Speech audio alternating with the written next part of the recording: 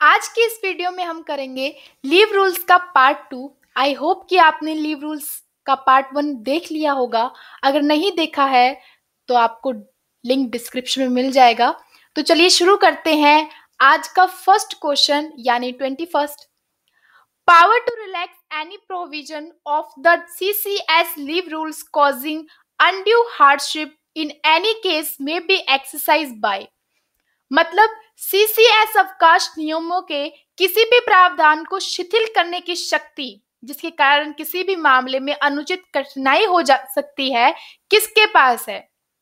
Option है हमारे the leave sanctioning authority B the ministry department concern C the ministry of personnel public grievances and pension या फिर D B above in concurrence with C above इसका right right option है D B above in concurrence with C above next question है the first schedule to the CCS leave rules provides for मतलब CCS अवकाश नियमों के लिए पहली अनुसूची प्रदान करता है। हमारे ऑप्शन है A the forms for the purposes of leave या फिर the authorities competent to grant leave C the procedure for maintaining a leave account या फिर none of the above right option है option B the authorities competent to grant leave प्रदान करता है. Next question an application for leave on medical ground by a gazetted government servant is to be accompanied by a medical certificate in मतलब कि राजपत्रित अधिकारी द्वारा medical ground पर छुट्टी के लिए एक आवेदन किस फॉर्म में भरकर देना होगा? ऑप्शन है हमारे फॉर्म टू फॉर्म थ्री या फिर फोर या फिर फाइव इसका जवाब क्या होगा? Yes option B is the right answer form three next question a government servant who has taken leave on medical ground may return to duty only on furnishing a medical certificate of fitness in. इसका मतलब है, एक सरकारी सेवक जिसने medical ground पर छुट्टी ली है, केवल फिटनेस के मेडिकल सर्टिफिकेट प्रस्तुत करने पर ड्यूटी पर लौट सकता है तो कौन से फॉर्म में भरेगा? A form three B form four या फिर C form five D form six. इसका क्या आंसर होगा? Option C form five. Next question.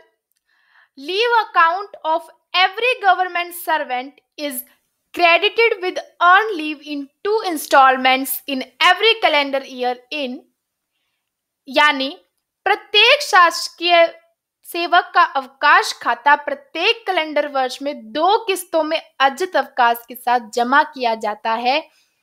A advance B arrear C either A और B as deemed appropriate D none of the above right option है इसका। Option A advance next question When a government servant is appointed in a half year, earned leave will be credited in respect of that half year for इसका मतलब है जब एक सरकारी सेवक को एक छमाई छह महीने में नियुक्त किया जाता है तो अर्जित अवकाश को उस छमाई के संबंध में जमा किया जाएगा ए फिफ्टीन डेज़ या फिर टेन डेज़ या फिर ढाई days for Uh, Uh, two and a half days for each completed calendar month of service in that half years. F D none of the above. Right option is C two and a half days for each completed calendar month of service in that half years. Next question 27th. The leave account of every government servant serving in a non vacation department shall be credited with 15 days EL on leave in advance on. इसका मतलब है, गैर अवकाश विभाग में सेवारत प्रत्येक सरकारी सेवा का अवकाश खाता पंद्रह दिनों के ईएल पर अग्रिम रूप से जमा किया जाएगा। ऑप्शन है हमारे first day of January and first day of July या फिर B first day of March and first day of September या फिर C first day of April and first day of October D first day of January या फिर thirty first day of July इसका answer क्या होगा? Option A first day of January and first day of July twenty ninth question unavailed joining time of one day allowed in case of transfer at the same station or not involving change of residence can be credited to the EL account एक statement है मैं बताना है true false में। इस question का मतलब है एक ही स्टेशन पर स्थानांतरण के मामले में अनुमत अन, अनुमत एक दिन का अप्रयुक्त कार्यभार ग्रहण करने या निवास के परिवर्तन को शामिल न करने की स्थिति में ईएल खाते में जमा किया जा सकता है या नहीं? इसका क्या जवाब होना चाहिए? बी फॉल्स इसका राइट right ऑप्शन है। अगला सवाल है thirty earn leave can be carried forward and accumulated up to a maximum of मतलब अर्जित अवकाश को आगे बढ़ाया जा सकता है और अधिकतम जमा किया जा सकता है। कितने डेज़ ऑप्शन है हमारे 180 डेज़ बी 240 डेज़ या फिर 300 डेज़ या फिर none of the above right right option क्या होना चाहिए इसका? अगर आपने सोचा है सी तो इसका जवाब यही है 300 days thirty first earned leave in excess of 300 days can be credited when मतलब कि 300 से अधिक दिनों में अर्जित अवकाश क्रेडिट किया जा सकता है जब ऑप्शन है हमारे A unavailed joining time is to be credited and the EL at credit with joining time exceeds 300 days या फिर B EL for the next half year is to be credited and the EL at credit with EL to be credited exceeds 300 days या फिर C the employee is expected to retire in the next half year D none of the above इसका जवाब क्या होगा? इसका right option है B EL for the next half year is to be credited and the EL at credit with EL to be credited exceeds 300 days. Next question 32. When the EL at credit is 300 days and EL of 15 days for the next half year is to be credited, the advance credit of EL shall इसका मतलब है जब अधिकतम EL credit 300 दिनों की होती है और अगले छमाही के लिए 15 दिनों का ईएल उसको क्रेडिट किया जाता है तो ईएल का अग्रिम क्रेडिट होगा A lapse B be added to the EL account and accumulated या फिर C kept separately and adjusted with the availed in the next half year, D none of the above. Right option is, अब तक आपने सोच लिया होगा Option C is the right option.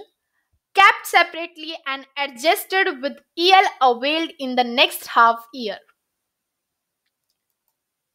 तो next question करते हैं thirty three when an employee is on extraordinary leave or dies non in a half year then advance credit of EL for the next half year shall be reduced by मतलब कि जब एक कर्मचारी असाधारण अवकाश पर होता है। या एक आधे साल में डाइज नॉन माना जाता है तो अगले छमाई के लिए ईएल का अग्रिम क्रेडिट कम हो जाएगा। कितना कम हो जाएगा?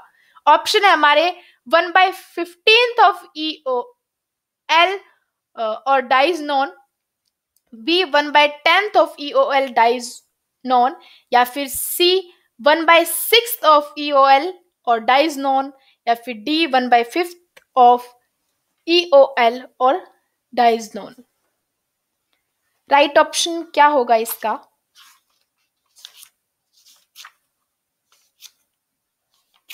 राइट ऑप्शन होगा इसका। Option B one by tenth of EOL और डाइज नॉन नेक्स्ट क्वेश्चन है thirty fourth earn leave can be availed up to maximum of मतलब कि अर्जित अवकाश का अधिकतम लाभ उठाया जा सकता है। A 180 days at a time या फिर 300 days in case of leave preparatory to retirement या फिर C 300 days in case of group A officers if the entire or a portion of leave is spent in India Bangladesh Bhutan Burma Sri Lanka Nepal and Pakistan provided the portion of leave spent in India does not exceed 180 days. D. All of the above. थोड़ा सोच लीजिए इस question को तो इसका right right option होगा D all of the above next question है thirty five are leave can not be prefixed or suffixed with इसका मतलब है अर्जित अवकाश को उपसर्ग या प्रत्यय नहीं दिया जा सकता है। किसके साथ? ए मैटरनिटी लीव या फिर B casual leave C holidays D extra ordinary leave what is the right option? Option b is the right answer, casual leave. अगला सवाल है 36 when a government servant is dismissed or removed or resigns from service el at his credit will not cease. मतलब जब एक सरकारी कर्मचारी को सेवा से बर्खास्त या हटा दिया जाता है या इस्तीफा दे दिया जाता है उसके द्वारा तो उसके क्रेडिट पर ईएल खत्म नहीं होगी। ए कब खत्म नहीं होगी? When he is required to resign from his post before taking up a new post forwarded through proper channel under the government b when he is re- reinstated on appeal or revision या फिर C when he having retired on compensation or invalid pension or gratuity is re-employed and allowed to count his past service for pension या फिर D all of the above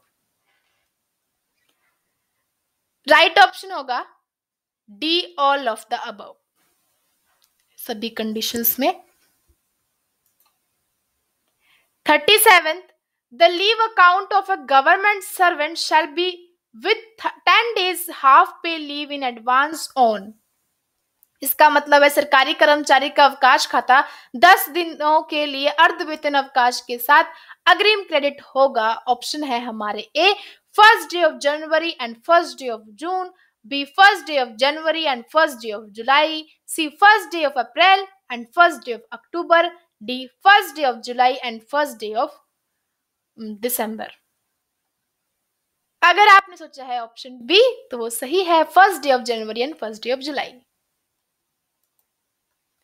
thirty eight while affording credit of HPL, fraction of a day shall be rounded off to.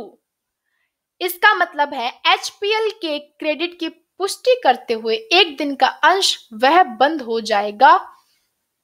Option हमारे A the nearest day या फिर the nearest lower day या nearest higher day या फिर none of the above right option is A the nearest day 39 when a government servant is appointed in a half year hpl will be credited in respect of that half year for. मतलब जब एक सरकारी सेवक को आधे साल में नियुक्त किया जाता है तो एचपीएल को उस छमाई के बकाए के रूप में किस दर से दिया जाएगा? ऑप्शन है हमारे टेन डेज़ या फिर fifteen days C five by two days for each completed calendar month of in that half year या फिर D five by third three days for each completed calendar month of it that half year in that half year क्या इसका जवाब होगा इसका जवाब होगा D 5 by 3 days for each completed calendar month of in that half year next question I think last question when any period is treated as dies known in a half year, then advance credit of HPL for the next half year shall be reduced by. इस question का मतलब है जब किसी भी अवधि को आधे साल में डाइज नोन के रूप में माना जाता है मान लिया जाता है तो अगले छमाही के लिए एचपीएल की अग्रिम क्रेडिट को घटाया जाएगा कितना A one by tenth of dies non या फिर B one by twelfth of dies non C one by fifteenth of dies non D one by eighteenth of dies non